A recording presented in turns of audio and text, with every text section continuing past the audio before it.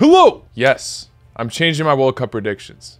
I warned you all that I would. For those of you that don't know, I made a very early prediction video right when the draw happened, and there still were a decent amount of teams which were to be determined to qualify. Recently, we have just discovered that Wales, Australia, and Costa Rica will all be new additions to the tournament. So of course I'm going to be changing my predictions, but not only that, we also just had a massive international break with the UEFA Nations League, along with some other friendlies all across the world. Some people might be arguing that these friendlies and Nations League matches don't really mean anything, as some players even admitted that they were just tired from the season and didn't want to deal with this international break. Well, say what you want, but this is everyone's most recent assessment of every single one of these national teams.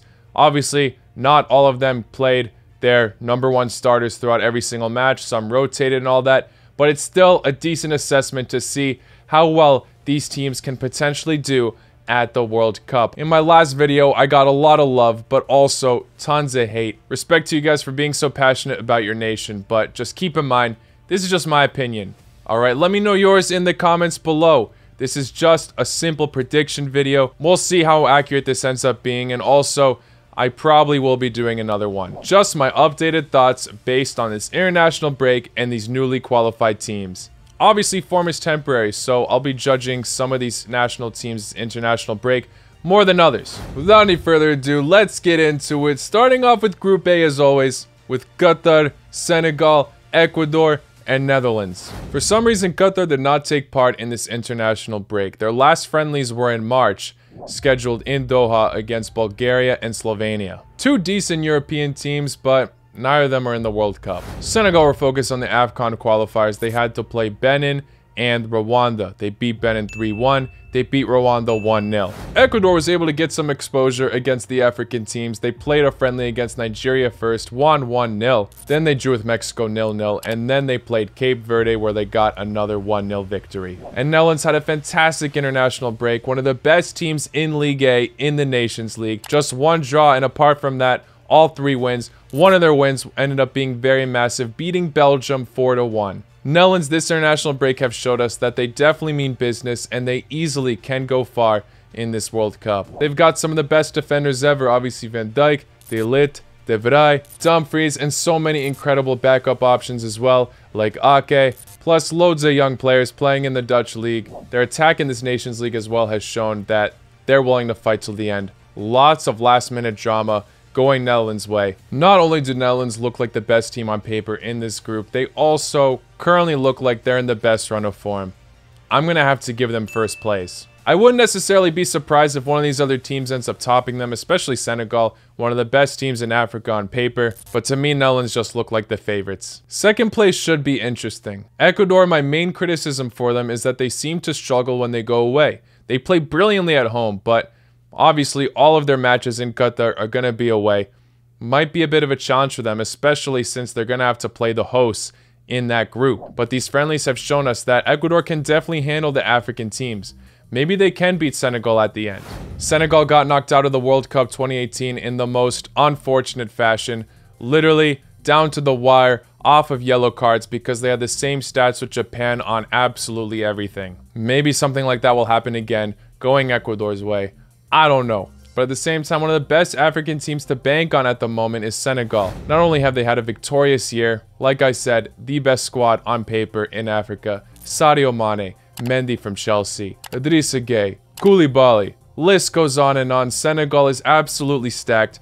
I think it's going to go down to the wire with them and Ecuador. I know in the past I said that you shouldn't underestimate Qatar as they are the hosts, but all these sides look absolutely determined to do bits in the World Cup. I might have to change things up. Not too much compared to my last prediction.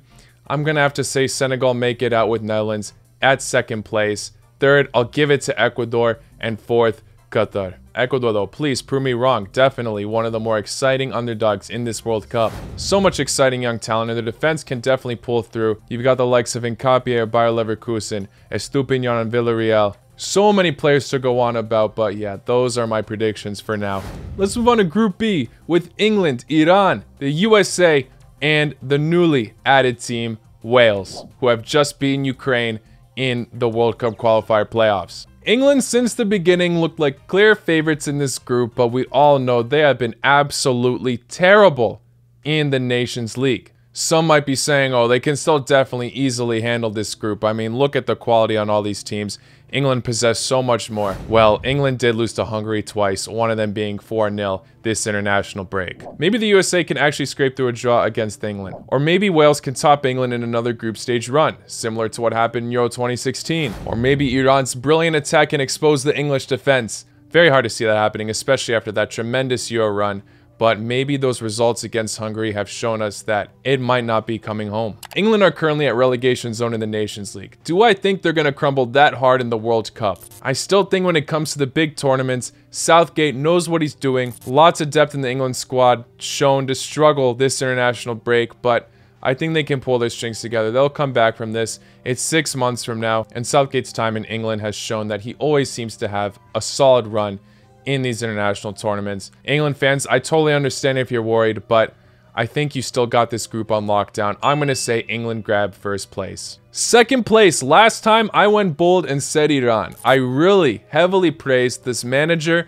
and the attack, Taremi and Azmoun, brilliant partnership up top. You've also got Jahanbakhsh, who seems to be the glue to the team, but the morale for the Iranian national team at the moment just doesn't seem to be too high struggled to organize friendlies this international break as they had one cancelled against Canada, but they managed to organize something against Algeria where they lost 2 to 1. Don't get me wrong, Algeria is a fantastic side, so on the surface this might not look that bad, but Algeria were playing their B team in this, Iran were playing all those players I just talked about. Jahanbakhsh, Azmoun, and Taremi were all up top. I know they were also playing Noorafkan, a fullback in center back, so maybe that did cost them. But if Iran wants to compete properly in this World Cup, they cannot be losing matches like this when Algeria throw on their subs and reserves. Also, the Iranian fans have seemed to be protesting the Croatian coach Dragan Skocic, who I've been praising a lot. I mean, this guy did absolutely brilliantly in the Asia qualifiers. I guess the Iranians just got too excited after Carlos Queiroz announced that he is leaving the Egyptian national team as they definitely want him back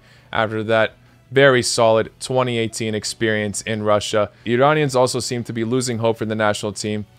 I don't think they're going to get second this time. I'm sorry. In fact, I'm just going to say right now, I think they'll get fourth place. I know that's a huge change from my previous prediction, but the USA have definitely been in some decent form lately, and they definitely can scrape a leaf to get out of this. And also, Wales was the one team that I very much feared that could change the complexion of this group, and I think they will. Sure, the Welsh national team on paper doesn't look as dangerous compared to the other European teams, but we've already seen this national team be doubted in Euro 2016. They had a phenomenal run then. Wales haven't qualified for the World Cup since 1958. So they're definitely going to want to go out with a bang, especially due to the fact that this is definitely going to be Gareth Bale's last international tournament or most likely at least. USA in this international break kicked things off brilliantly, beating Morocco 3-0. They drew with Uruguay 0-0, which obviously is a bit underwhelming, but not bad. That's one of the best teams in South America. Wales are in relegation zone at the moment in the Nations League, but they obviously were putting all the eggs in their basket to that World Cup qualifier playoff,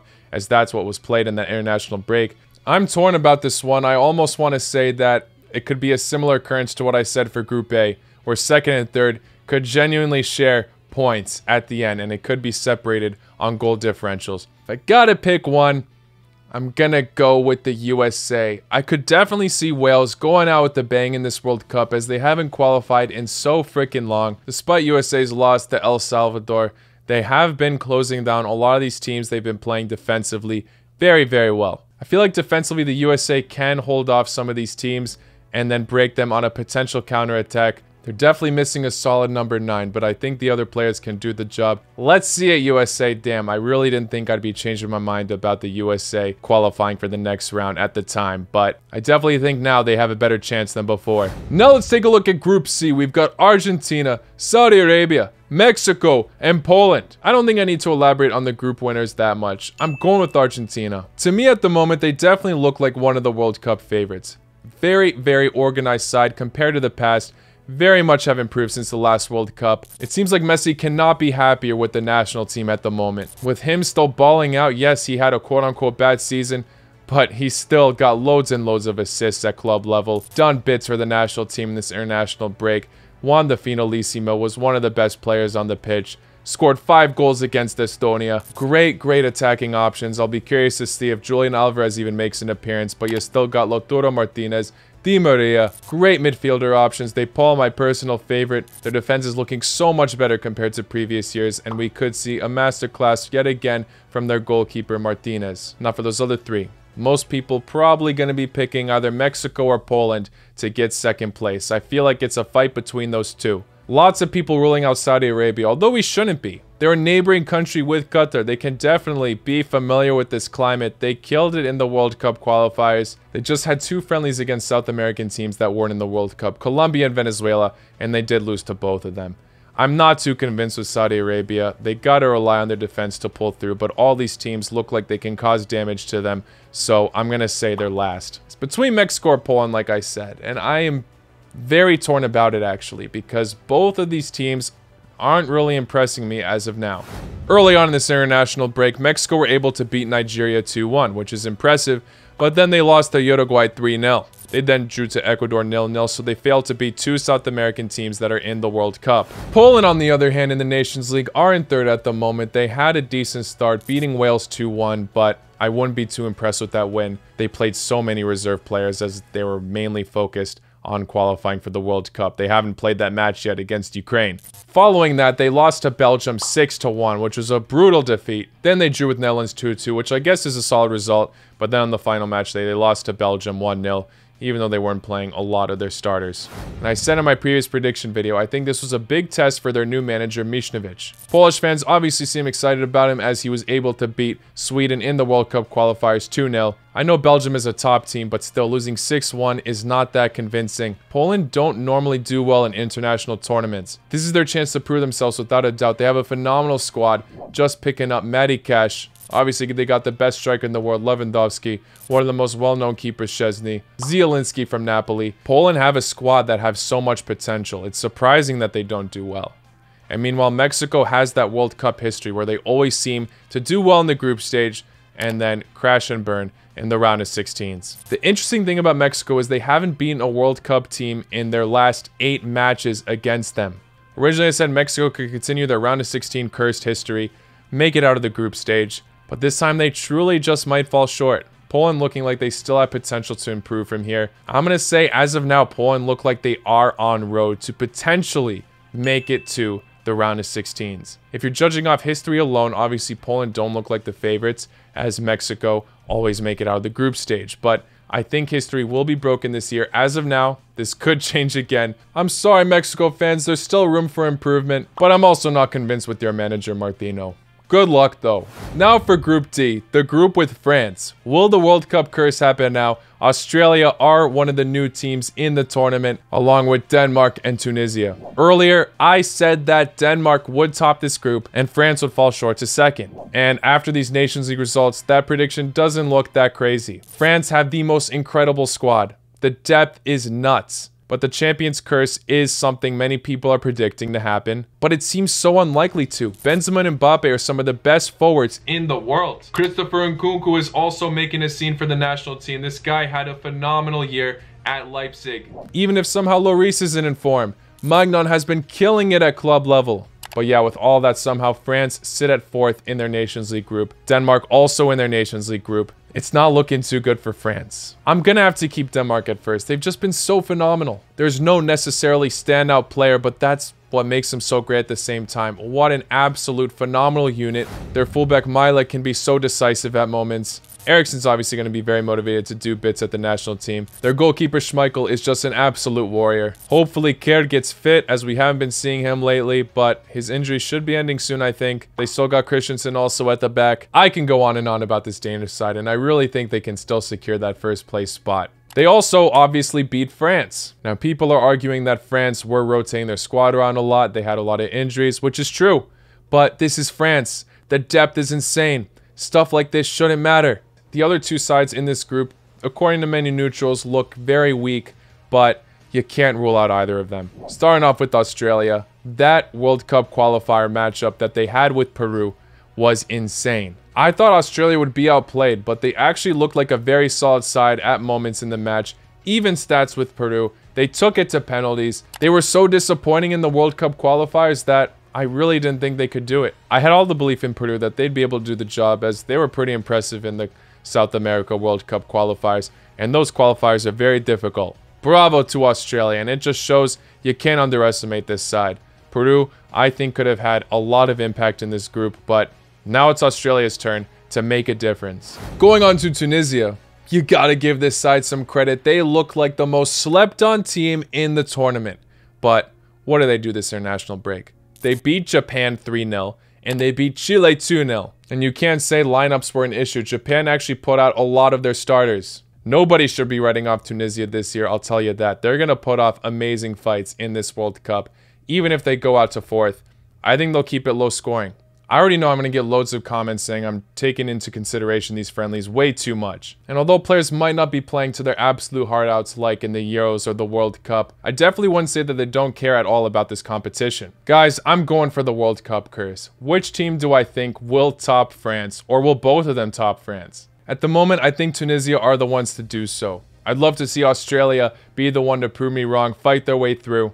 I see them having exciting moments in this World Cup, but we won't see any Tim Cahill masterclasses out there. I'm saying Australia get fourth, France get third, Tunisia gets second. Might be a bold take, but that's going to be my most major quote-unquote upset in this video. Now for Group B, we've got Spain, Costa Rica, Germany, and Japan. Spain and Germany look like absolute favorites in this, but a huge talking point for both national teams actually is they don't have a solid center forward. Werner and Morata get memed a lot. I still think they're solid options, but considering the rest of the talent both of these countries possess, it might not be their strongest point.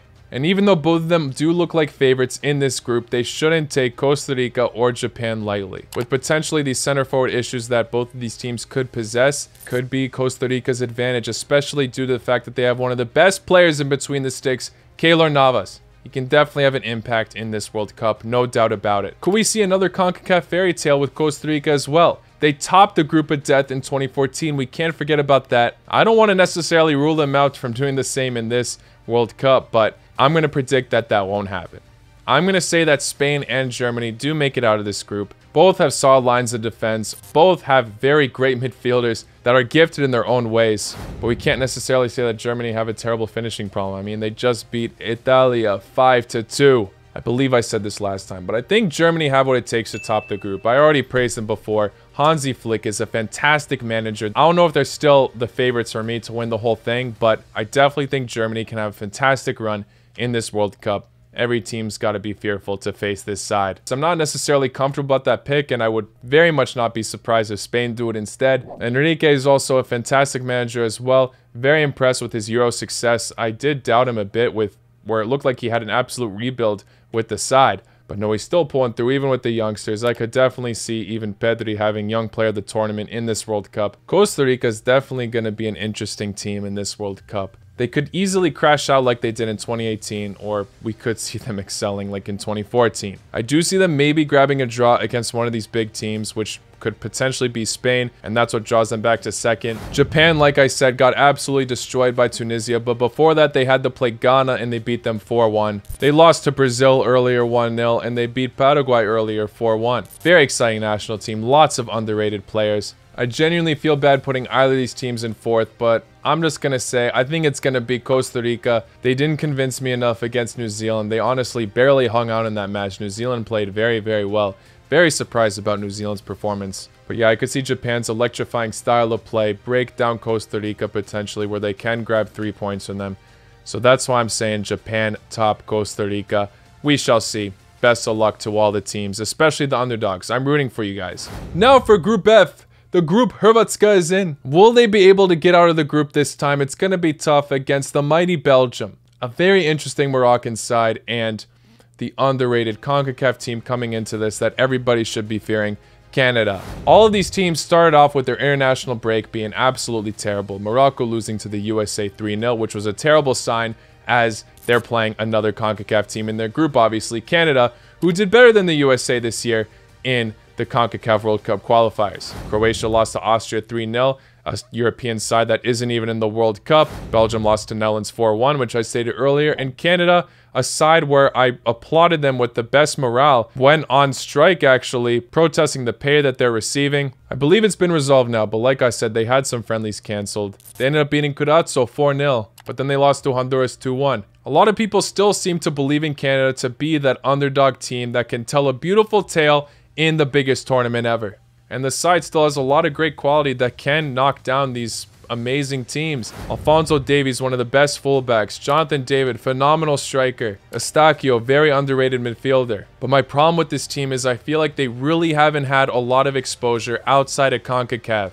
That friendly against Iran could have potentially been a great test for them. I genuinely think they got to schedule some friendlies against European teams even if they're not in the World Cup. At the same time though, that could all lead to an even bigger mystery. Can Canada hold off against a Belgian side that a lot of people seem to be doubting now, but they still have the quality. They still have some great players. Courtois just won the Champions League. If he plays like that in the World Cup, Belgium are set. Eden Hazard is trying to regain his form. De Bruyne is still one of the best midfielders. Lukaku, even with his Chelsea struggles, he's still a phenomenal striker. The only issue maybe is Belgium's defense, obviously, but if they got Courtois between the sticks, I think he can save their ass a decent amount of times. Belgium might not be favorites to win this tournament.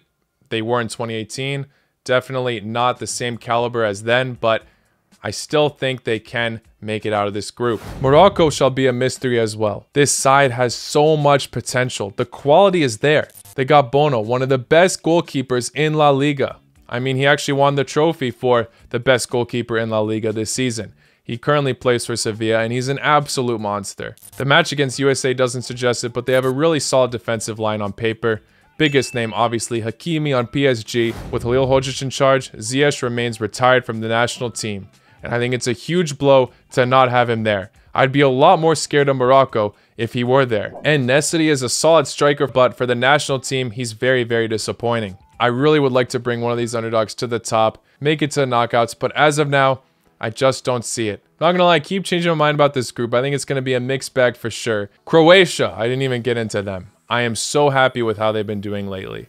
Yes, they lost 3-0 to Austria, but after that, Zlatko Dalic figured out the back line. The stereotype for Croatia is that we're just an aging squad that clearly has some gaps in the national team now that Mario Mandzukic, Ivan Rakitic, and Subasic have all retired. Well, no. They're just looking at Luka Modric and making that generalization. There are so many great youngsters coming in, especially in the back line. We saw Stanisic, Šutalo, Erlic, all have fantastic displays for the national team. They held off clean sheets against Denmark and France. The only struggle Croatia will have, and I've said it for other teams already, is they don't have a great center forward option. That's where we miss Mario Mandzukic. Budimir for the national team really seems like a filler player at this point, but the way Croatia have been playing, they can definitely make these games narrow and win them. Get some 1-0 results and potentially even top the group. The midfielders and wingers still have lots of potential to get the golazos for the Croatian national team. I already know everyone's going to come at me that I'm biased for this pick, but I'm going to go bold and say Croatia can top the group. I really doubted the national team so much before, I even felt a bit risky putting them at second, but this international break really has me more hopeful for them. Croatia in Euro 2016 and the World Cup 2018 absolutely bossed the group stage. In 2016, they were in a group with Spain, and in 2018, they were in a group with Argentina. I am worried for Croatia in the knockouts, don't get me wrong, especially due to the fact that we're potentially going to play Spain or Germany, which definitely look like favorites in that matchup. But I'm going to say that Croatia can top the group. I'm going bold. We'll see if I'm that confident by the time the World Cup is about to roll around. I'm not going to go for a massive upset here, although I'd love to see it. Morocco, Canada, prove me wrong. But I'm going to say that Belgium grabs second place. Listen, Morocco, I don't normally say this for every national team. And I hate to do this to a Balkan brother, but Halilhodžić is not the answer for the national team. If you guys replace him before the World Cup, get Ziyech back. Get organized yet again. This side has too much potential, like I said. I think they can get out of this group. But for now, it seems like he's staying. I'm seeing a lot of Moroccan fans throwing me rumors about this, but nothing seems to be true yet. He is staying for the national team. So I'm going to say that Canada get third, Morocco fourth. Moroccans, don't hate me. But the way Morocco already played to a CONCACAF team that did worse than Canada this year just goes to show. Sorry, Morocco. Best of luck. Group G. I absolutely love this group. Brazil, Serbia, Switzerland, and Cameroon. I'm going to go basic for a fellow South American giant. Brazil are getting first, similar to my Argentina reasoning. This side, along with Argentina, they were both undefeated in the South American qualifiers. Brazil's depth is insane. Their scorelines have been crazy as well. Two Premier League goalkeepers playing for the best Premier League clubs. Some people might be questioning their defense as Militao hasn't had the best season. Some people aren't convinced with the likes of Lodi and all that, but I think they still got options and time to sort that out. And it's not like Serbia's or Switzerland's or even Cameroon's have been any better. But Thiago Silva at his age is still killing it, so give the defense some respect. An insane amount of attackers to choose from. Vinicius Jr. also having a phenomenal season. I'm definitely missing some players here and there, but you get the point. Brazil is stacked a potential World Cup favorite for me, and I think they will top this group for sure. Although they definitely shouldn't underestimate these other teams. Serbia and Switzerland, I've always said, are the two most underrated teams in Europe. I think people are starting to rate Serbia now as they've realized how insane their squad has become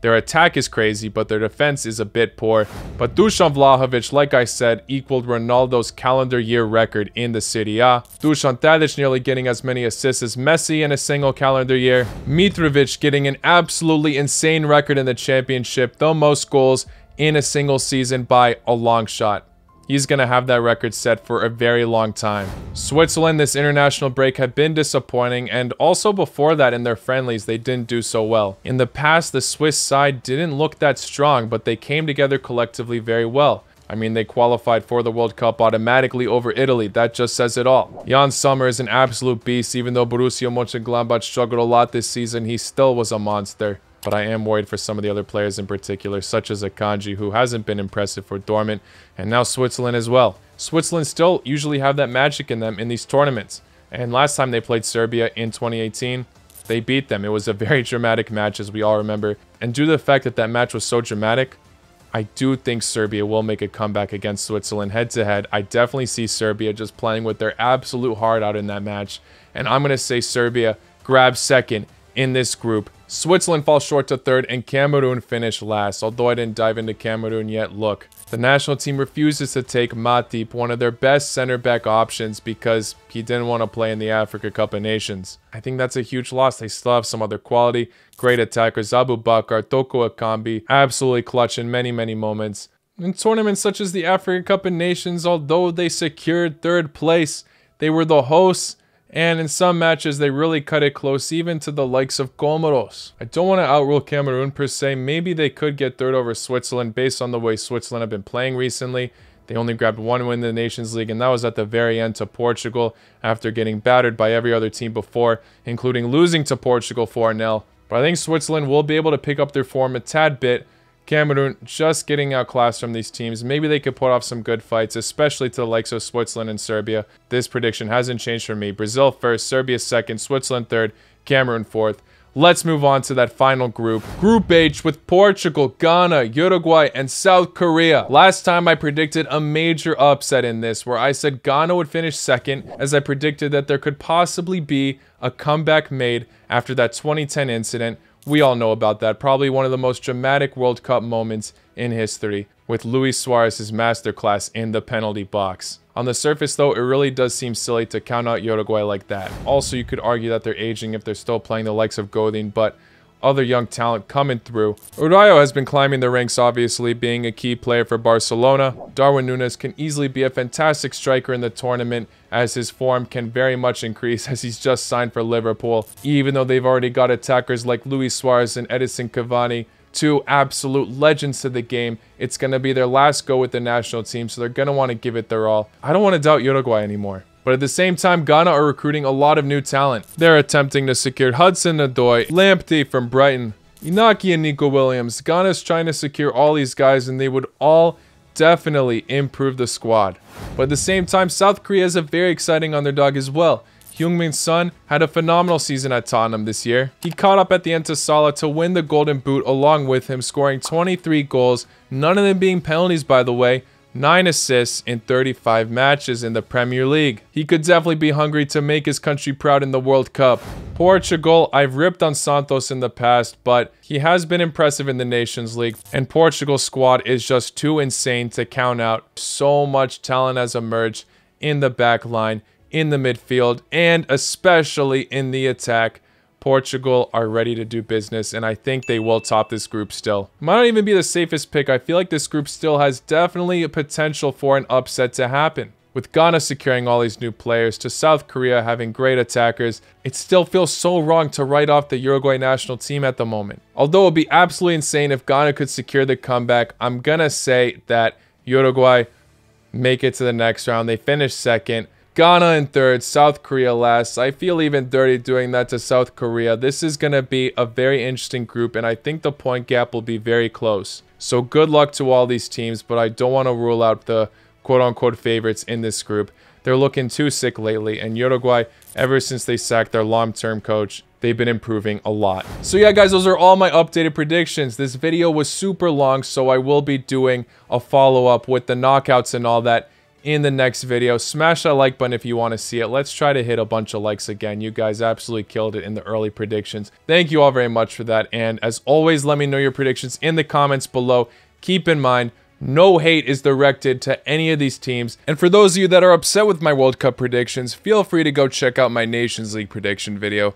You'll probably end up feeling a lot better. Take care. La noche.